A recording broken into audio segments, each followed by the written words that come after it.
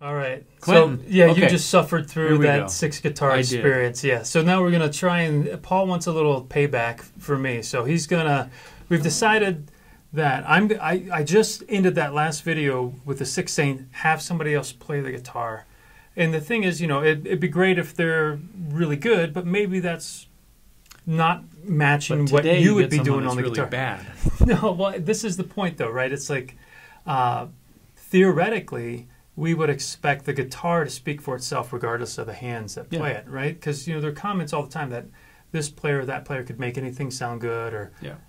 conversely, maybe that guitar would sound good in anybody's hands. But the point is, can your ears pick out the distinctive features of the guitar, regardless of the complexity or the style of attack? There's all these intricacies in how people play. Can you still pick it out when it's a, no offense, a relatively simple strum? And Yes. that's where we're going to challenge myself. I'm going to do the relatively simple strum. Now, and we're yeah. going to compare today a Martin Yeah. D18 and a Gibson J45, which are two of my favorites, two of the store's favorites. And, uh, you know, we know Quinton loves these, and um, I, I, know really you love, these too. I love them both But, now, uh, which has been I'm an just- evolution over the last couple of I just years. want to see if you can tell the difference, and then I want you to just play them and give the, the folks what the differences Okay, are. Well, so we'll, we'll. I'll put the blindfold on first. Yep. We'll see if I can Yeah. pick out which one is which. Yep, and then you can just do a, a review then, of both then, of them. then I'll play a little bit and just Yeah. talk about what I like about both. Yeah, Okay.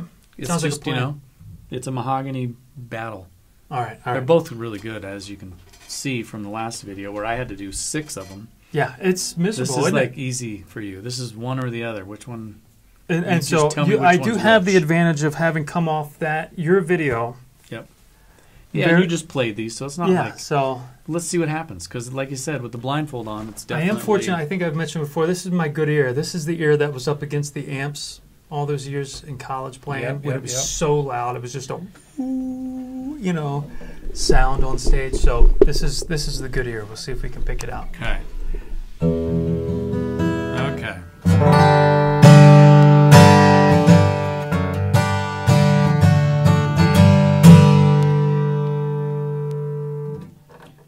One. That's one.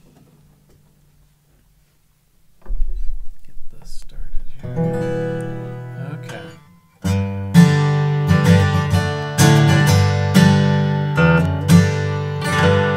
Man, these two are really hard, and I think you had a challenge with these two as well.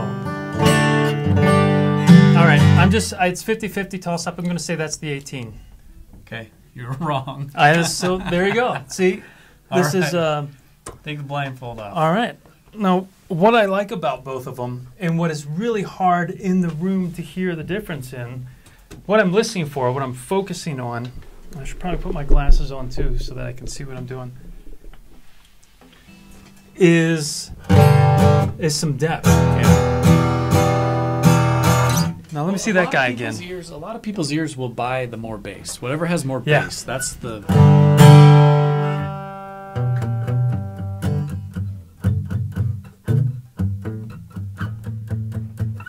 All, all about that bass. I'm all about the bass. But I hear that's what I'm hearing both of these is, is a lot of depth. But Yeah. Yeah. yeah, It's uh, like I said, when you're when you're looking with your eyes and you're listening to it, it's a whole different thing. it is. Plus, there's just moments where you would want that guitar for certain things, and you'd want this for certain things. So I, I agree. And, Yeah. you know, I think uh, there's a lot of other factors, like the way I play it versus whatever you were doing, which I suspect was some thumb strumming. The Um, only thing I do, you got.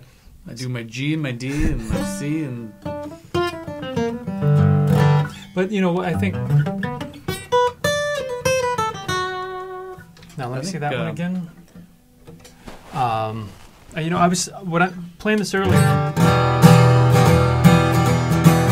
It's got a lot more Yeah. depth than I typically would have associated. Again, because I'm I'm biased by my years of being a quote unquote Martin guy. That Martin's where the where the depth is, but that's just not the case all the time. bluegrass too. If you're playing a bluegrass gig, you probably are going to be more. Drum- you probably would like this better, longer scale.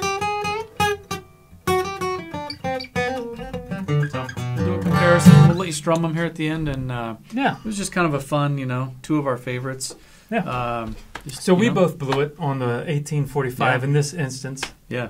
So maybe uh, we'll we'll challenge you at the end. Turn it on. Don't don't watch. We'll do guitar one, guitar two, Yeah. and see if you can pick out the difference between them. Cool. Yeah. All right, Quinn. Thanks again. You bet. See y'all soon. All right. So Paul and I both had difficulty, to say the least, distinguishing between the 18 and the 45. So what we're going to invite you to do is take a moment, maybe just turn your head and listen. We'll introduce the guitars as guitar one and two, and we'll play a little bit on each one, and then we'll replicate the playing with maybe a slightly different style, some single note stuff. And then after about you know 40 seconds, we'll invite you to come back and take a guess. Were you able to figure out which one was the 18, which one was the 45? We had issues. Maybe you will, maybe you won't, but it'd be fun to try. So leave your comments down below. Let us know how you did with this little challenge. All right, without further ado, we're going to go to guitar number one.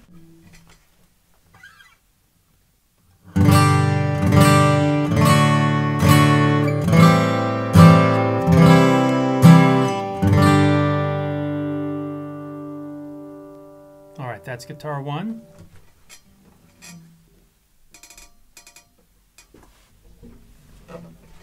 Here's guitar two.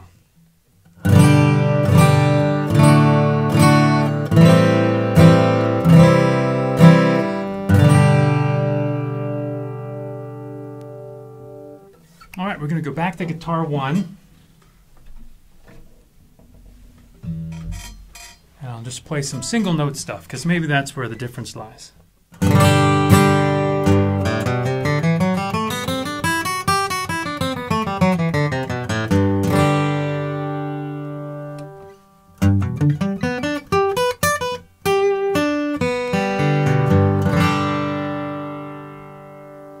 Guitar one.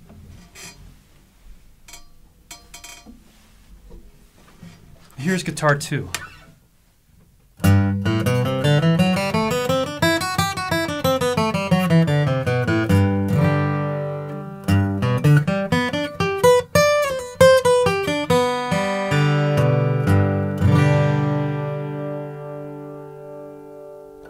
All right.